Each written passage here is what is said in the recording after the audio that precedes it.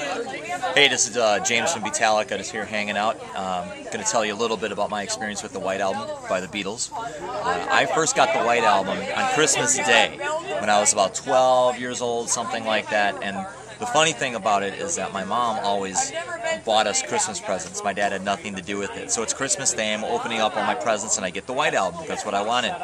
And my dad looks at me and he goes, Yeah, but don't you like Slayer? And I'm like, well, yeah, I like Slayer. And, you know, and I got like Hell Awaits in one hand and the White Album in the other hand. I'm like, I'm putting on this.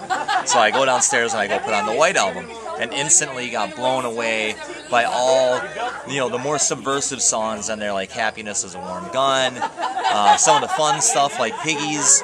And it really kind of showed me how the Beatles were growing up uh, as songwriters, but still trying to have fun with things like Piggies, Rocky Raccoon, uh, a lot of the McCartney stuff, like Honey Pie, Martha My Dear, all these other things like that. And the White Album was always really interesting to me because even when the Beatles were having problems personally, they were still able to put out an album such as that, which is so diverse. It's got something for everybody.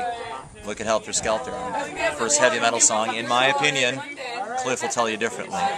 So uh, that is my experience with the White Album. Be sure to pick up the Beatles re-releases starting in September, and uh, you'll see Beatallica right next to it in the record bin and the CD bin. So uh, right on. We'll check you later.